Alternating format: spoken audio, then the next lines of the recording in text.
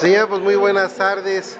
Estamos aquí aprovechando el momento porque usted es una persona ocupada, pero que ahorita hay un evento en el cual está, es un cumpleaños, pero queríamos aprovechar la información como líder moral aquí en la CTM y como síndico cómo se están dando las cosas, porque pues hemos visto que como síndico está apoyando a la gente, está haciendo mucha gestoría, mucha gestión y está apoyando a la clase trabajadora.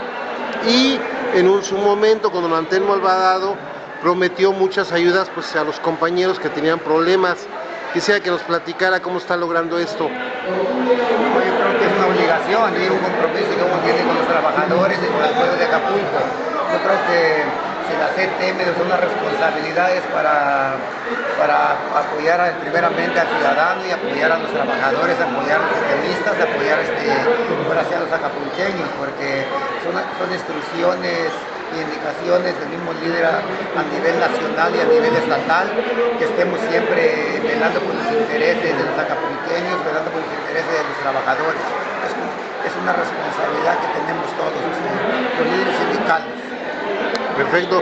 Pues señor, esta responsabilidad se ha visto muy bien reflejada porque usted este ha estado resolviendo los problemas de la ciudadanía con la experiencia como gestor que tiene y que está atendiendo pues a diferentes sectores de la ciudad como laboral, como de hotelería, como eh, del comercio informal, como la más simple de las gestorías, este, pues es una obligación que usted va más allá de sus obligaciones no, lo hacemos porque, porque, te vuelvo a repetir, como obligación, aparte porque nos gusta y tenemos que hacerlo, si estamos en esta responsabilidad tenemos que darle, darle respuesta a los ciudadanos, a los trabajadores, porque tenemos que darle cumplimiento a lo que demanda el pueblo de Acapulco y lo que demandan los trabajadores. Este, señor Rodolfo, en cuanto al apoyo que tiene para el sector obrero, en este caso, de licencias o del pedido de cobro mínimo de infracciones aquí en el puerto de Acapulco, ¿qué avances se tienen? Bueno, yo creo que eso lo hacemos este, con mucho gusto porque el trabajador hoy en, esta, en este tiempo, en esta época, está viviendo una situación muy difícil económicamente. No hay turismo, como no hay turismo en Acapulco, el trabajador no tiene solvencia económica y por eso tratamos de, de ayudarle lo que se puede ayudar y si son infracciones, tenemos que cancelarle, los que no tienen dinero para pagarlas de lo que sea, tenemos que ayudar al trabajador en Capama, en Catastro, en Predial, en todo, tenemos que hacer una gestoría para los trabajadores, porque son indicaciones de nuestro líder estatal, Antonio Alvarado García. Eh, cuanto a la seguridad que se tuvo en la sección 20, usted que al final de, de, esas votaciones estuvo presente, ¿cuál es su opinión? Fueron unas votaciones ejemplares, unas votaciones limpias, unas votaciones con mucha madurez y eso yo creo que tenemos que valorarlo, ¿no? porque los, dos, candidatos este, mostraron mucha madurez y eso es un reflejo hacia los trabajadores.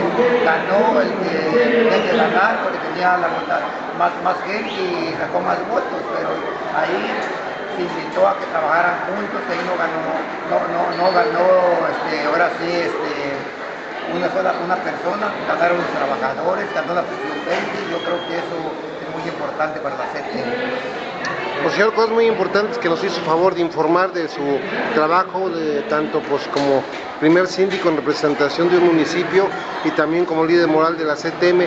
Pues muchísimas gracias. Algo quisiera informar para redes que desde hace mucho tiempo estamos informando pues a varios eh, miles de gentes a través de redes y pues a, tanto en Chilpancingo, Estado de Guerrero, Europa, Estados Unidos, Canadá, quisiera que nos informara algo, algún mensaje, algo que se nos haya pasado.